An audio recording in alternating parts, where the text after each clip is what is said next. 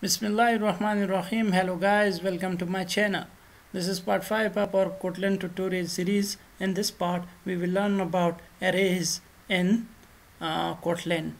So, I have created this project in which I have this uh, uh, button on this uh, designer and uh, we have connected this button, that button to this Java code and we have created the click listener if you do not know about button uh, you can go to the playlist uh, this playlist and check the first video which is about button so now we will create an array here.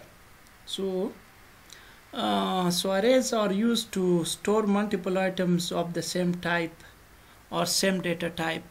For example if we have created a, an array of uh, strings then we cannot put integer into it it will uh, all contain strings. Now uh, if we create an integer array so we cannot put strings in that uh, integer array it will always contain integers. So the question arises that oh, why we create arrays? So we create arrays to for example if we have to uh, store or create um, 100 fruits names. So we have to create uh, 100 different strings for that.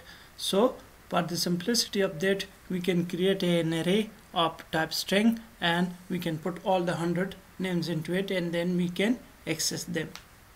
So now we will create an array and we will learn about its syntax. So I'll come here and now I'll create a, a val variable and I will give it a, a name a equals and uh, then I can use array of and then I can use the values now if I put here uh, mango then apple then um, banana and then orange.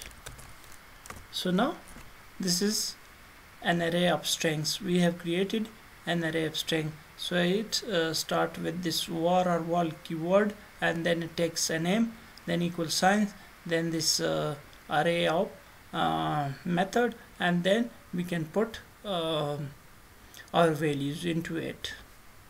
Now optionally you can put here in angular brackets. You can put string but it is optional. If you do not put it here it doesn't matter.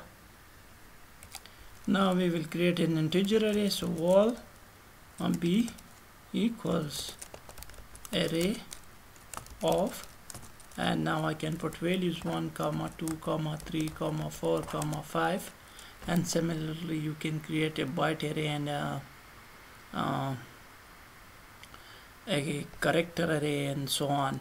Now uh, optionally you can use here int keyword.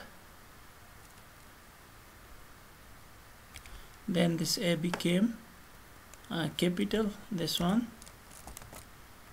So you can declare it uh, like this and you can use all uh, and declare primitive type arrays like this. You can use your byte array of and uh, similarly you can use short array of long array of. So now we will uh, get the values from these arrays and we will put some values into this array at runtime. So there are two ways to get values from uh, arrays in Kotlin. So uh, we use indices in both uh, ways.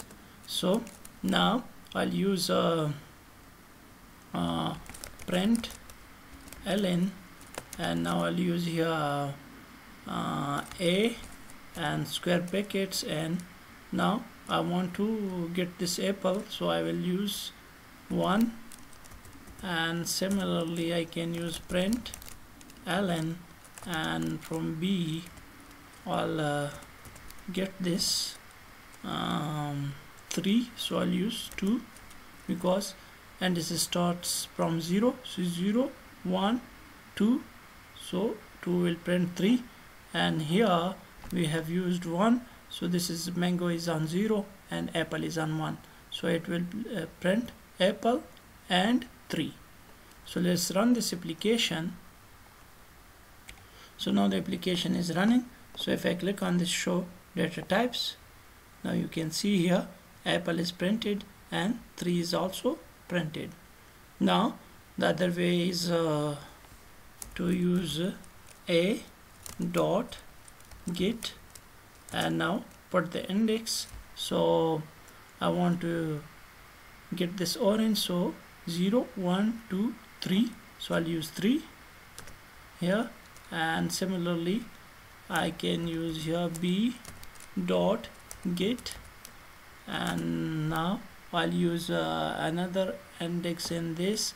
So I want to show this 4 so 0 1 2 3 I'll use 3 and uh, now if I run this again quickly.